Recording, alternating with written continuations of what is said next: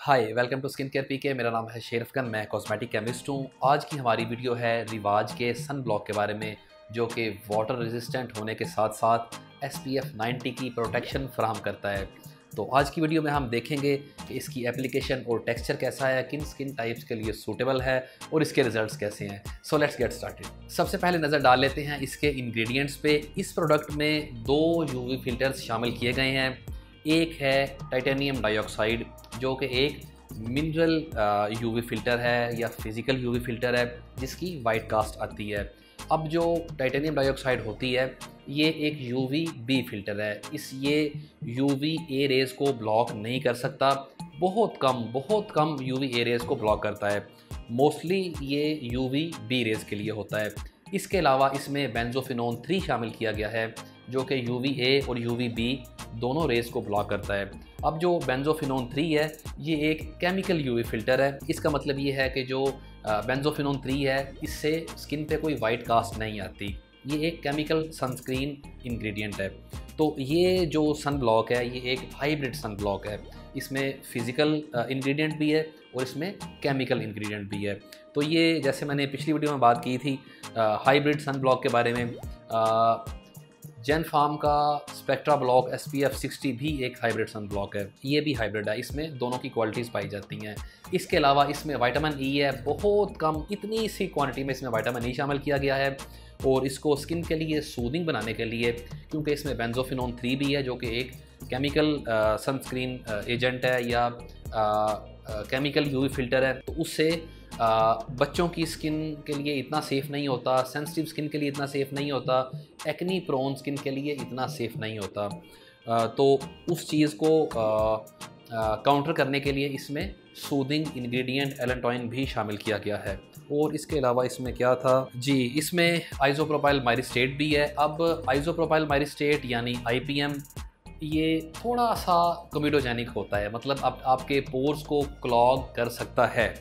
अगर किसी प्रोडक्ट में आईपीएम ज़्यादा हो तो आपके पोर्स क्लॉग होने का ख़तरा ज़्यादा होता है। अब इसमें मैं आई एम नॉट श्योर कि इसमें आईपीएम कितना शामिल किया गया है।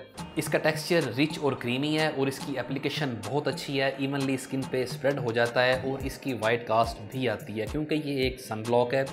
और इसमें मिनरल इंग्रेडिएंट शामिल किया गया है, जिसकी मैंने पहले बात की है, वो होता है टाइटेनियम अब मेरा क्वेश्चन इन कंपनीज़ के साथ ही है। मैंने पहले सईद गनी के वाइटामिन सी सन ब्लॉक पर भी वीडियो बनाई है। उन्होंने भी इसी तरह का काम किया हुआ है। जस्ट टाइटेनियम शामिल किया है जिंक शामिल नहीं किया। अब जिंक और टाइटेनियम ये दोनों मिनरल इंग्रेडिएंट हैं फ़िज़िकल सनस्क्रीन इंग्रेडिएंट है या फिल्टर्स हैं। तो जब वाइट कास्ट आनी ही है तो आपको, आपने जिंक शामिल साथ क्यों नहीं किया?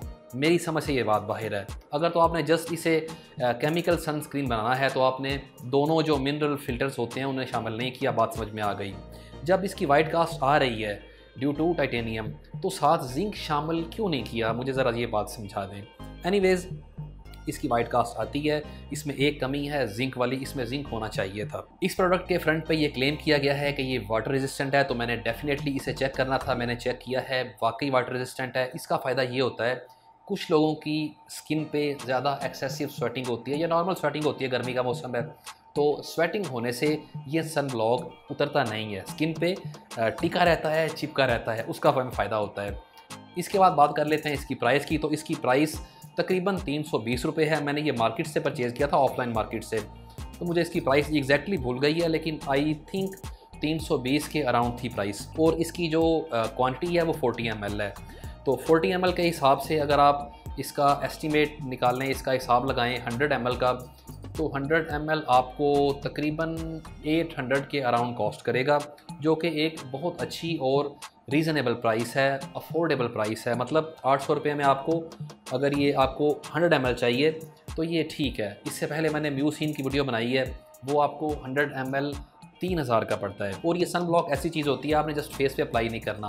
आपने गर्दन पे भी अप्लाई करना है, बाजू पे भी अप्लाई करना है तो ये ज़्यादा यूज़ होने वाली चीज़ है। और इस प्रोडक्ट के बारे में मेरा फाइनल वर्डिक्ट ये है, क्योंकि मैंने इसे यूज़ भी किया है और अपने यूज़ के मुताबिक, अपने एक्सपीरियंस के मुताबिक मैं आपको ये बता सकता हूँ कि ये एस पी एफ़ नाइन्टी आप इसे ना समझें, आप इसे एस पी एफ़ सिक्सटी समझें और एस पी एफ़ सिक्सटी तक ये काम करता है।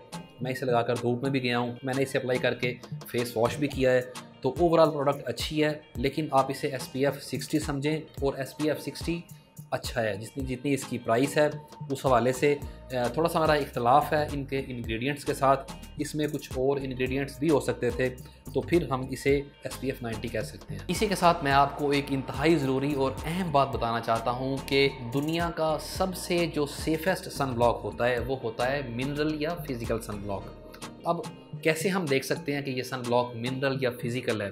तो उसके इंग्रेडिएंट में दो चीज़ें लिखी होंगी जिंक एंड टाइटेनियम तो ये इतना सेफ़ होता है।